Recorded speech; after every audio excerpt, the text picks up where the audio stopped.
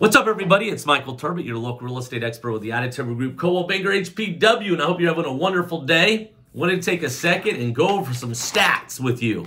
We just got the October stats from Triangle MLS, and I wanted to compare it to our September stats to show you, you know, the question we get is, is the market slowing down, Terb? During the holiday season, is the market slowing down? And my answer to that is no.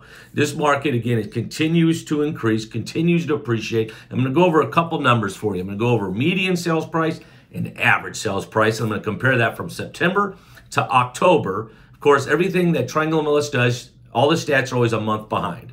So, of course, next month we'll get November stats and we'll be able to continue to see what's going on. But as of September, our median sales price was 410,000, was up 20% from the year prior. The average sales price was 467,000, which was also up slightly over 20% from the year before. Now then let's look at October stats. The median sales price now is up to 415,000, Again, 20% higher than last year.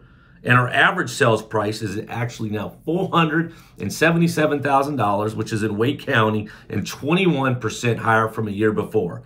So the average sales price over the last month has gone up $10,000, and the median sales price has gone up $5,000. In saying that, the average month is inventory is down slightly from 0.7 to now 0.6. So basically, we have two weeks of inventory in Wake County. So what does this mean for you? If you're at all thinking about selling, and we're coming into the holidays, I've already got several of my clients, past clients saying, Terb, the spring we're selling. If you're at all thinking about selling your property, wanting to know how much equity that you're sitting on, message me be happy to do a no obligation market analysis for you guys. If you have a friend of yours that's thinking about selling, let me know. So, what does that also mean on the buy side? Rates continue to be very low. So, if you're at all thinking about buying, this is the time to get into the market too. But we need to have a strategy because the low inventory, there's high demand, low supply. So, we want to put you in the best position to win. So, I'm going to have a more in depth market update next week, but wanted to get this out to you guys now. Uh, if you guys have any questions, please reach out to me. Can't, can't thank you guys enough for all of your support and your referrals. And it's Michael Terbet, your local real estate expert with the Terbet Group, Coldwell Banker, HPW. And as always, guys, remember who you work with matters and have a great week. See ya.